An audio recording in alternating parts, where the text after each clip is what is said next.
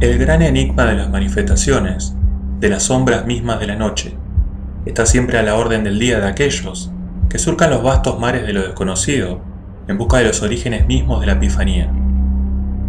Este no es un video cualquiera, pretendo que sea la primera parte de una serie que tiene un poco de homenaje para quien considero uno de los grandes del misterio, John Keel.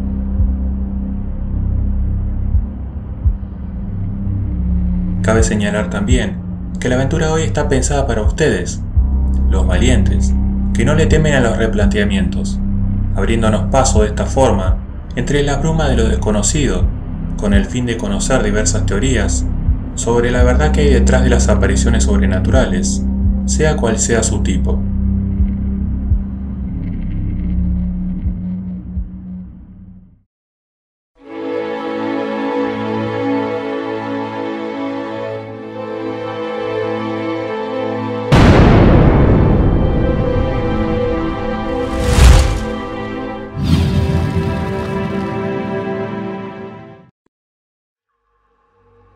Las preguntas solo traen más preguntas, dice un viejo refrán. Esto fue algo que vivió en carne propia John Keel, quien al adentrarse cada vez más en el mundo del misterio, se encontró con una realidad que no podía pasar por alto. Y es que a su parecer, como propone en una de sus primeras obras, tripulantes de platillos volantes, las hadas y otras criaturas serían manifestaciones de un mismo fenómeno pero, ¿quién fue este hombre? ¿Por qué pensaba de esta forma? Pues bien, John Keel fue un periodista que comenzó a publicar notas en un periódico semanal en Nueva York durante los años 40. Sirvió en el ejército de Estados Unidos en la guerra de Corea, trabajó como corresponsal y emprendió una aventura de cuatro años por Asia y Medio Oriente. Era un entusiasta admirador de las obras de Charles Ford, y de regreso a su país, Kill focalizó su interés en el fenómeno ovni, volcando su trabajo en esa dirección. Fue así que decidió llegar al fondo del misterio.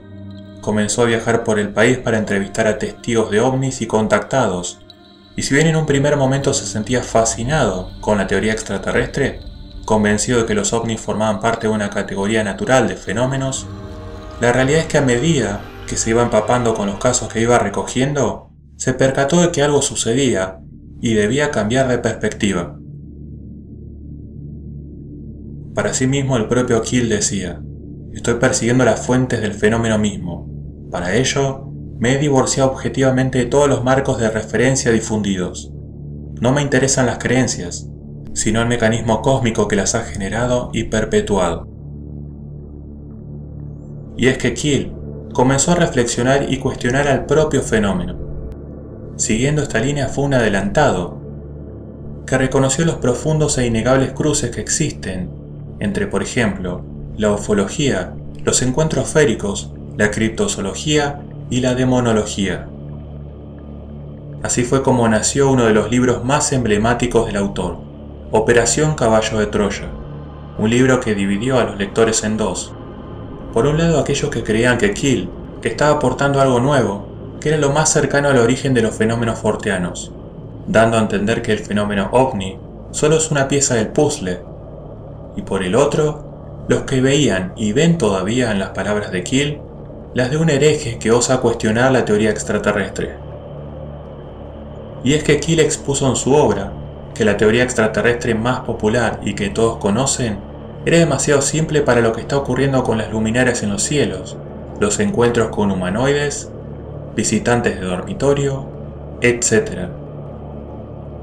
Las teorías de tuercas y tornillos eran demasiado limitadas para ajustarse a la cruda realidad de los absurdos, aquellos casos malditos que el propio Kill expuso a sus lectores, delatando de esta forma como la gran mayoría de los ufólogos de su tiempo preferían ignorarlos solo porque no se ajustaban a sus perspectivas.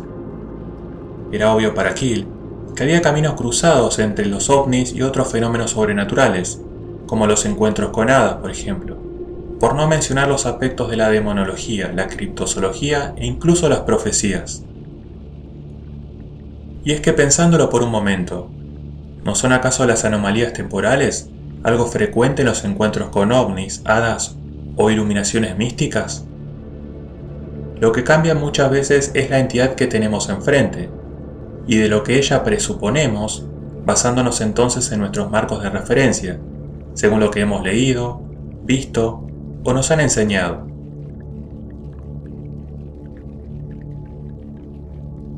Y es que siguiendo esta línea, Kill se percató de que los encuentros actuales con lo que nosotros llamamos extraterrestres o humanoides guardan un estrecho paralelismo con los seres folclóricos o mitológicos de antaño, pudiendo ser el mismo fenómeno entonces, pero con una careta distinta a la hora de mostrarse, la cual se adapta a los patrones culturales de los testigos.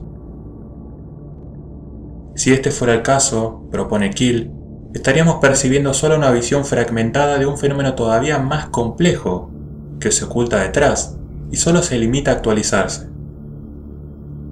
En ese sentido, el propio Kill confesó en más de una entrevista que los seres detrás del fenómeno ovni no son lo que parecen ser, sino lo que quieren que pensemos que son. De tal modo que si los hermanos pleiadianos se aparecen y te dicen que eres un elegido y especial para llevar a cabo su misión, lo mejor según Kill sería dudar puesto que lo único que cambia es el disfraz que usan para contártelo. Además, la esencia misma del fenómeno se fortalece con la propia perturbación del testigo que se encuentra con lo insólito. Pesaría sobre ello la idea de que el ser humano utilizado es capaz de negarse a sí mismo la idea de que fue engañado, con tal de no admitir su propia flaqueza. La idea del huérfano defraudado por las profecías que no se cumplen y deseos de sentirse un elegido es algo que se expone con crudeza en las obras de Kill. Y es que además, John Kill fue capaz de hacer algo que muy pocos ufólogos fueron capaces de hacer en su tiempo. Reconoció que sea lo que se esconda detrás de los fenómenos extraños, resulta innegable darse cuenta que algo parecería disfrutar manipulando y confundiendo a los testigos e investigadores por igual.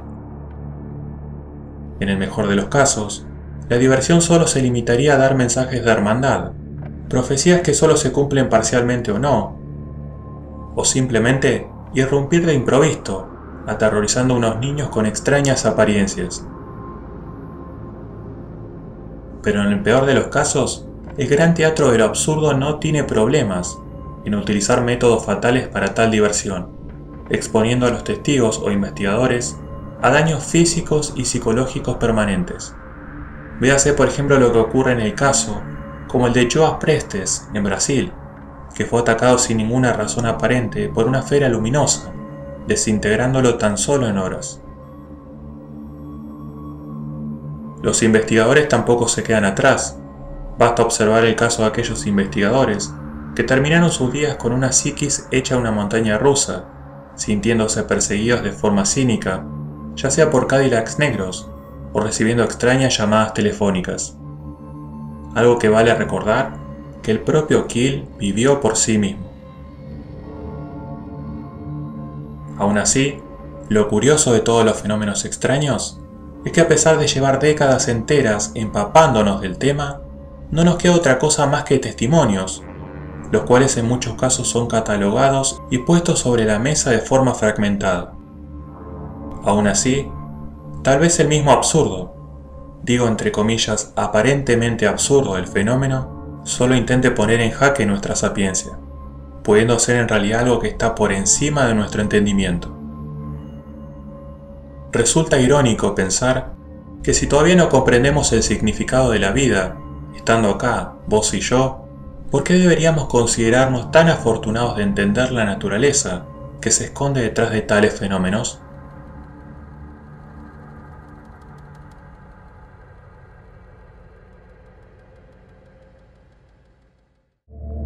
Hasta aquí la primera parte de esta serie.